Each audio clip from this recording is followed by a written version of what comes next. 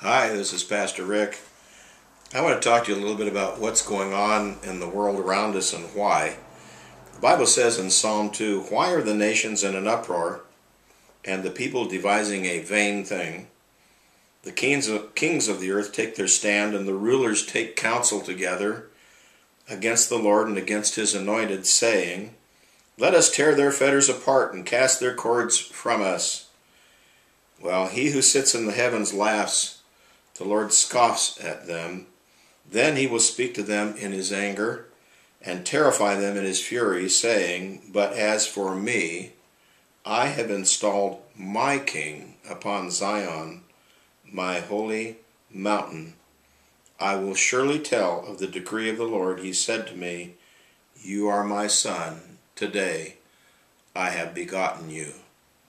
Well, it's not Christmas time yet, but I was thinking that God already has a plan for dealing with all these troubles that are going on around the world.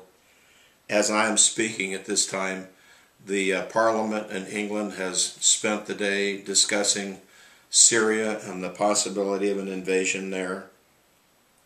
Our President and the Secretary of Defense and the Security, Secretary of State and so forth have been discussing the possibility of, quote, firing a shot across the bow of Syria, unquote, and uh, I was thinking, all of this fits into God's plan.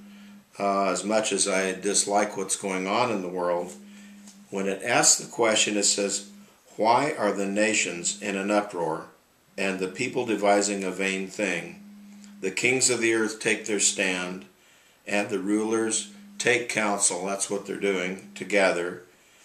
It's against the Lord. They're not asking the question, What would God have us to do in this circumstance?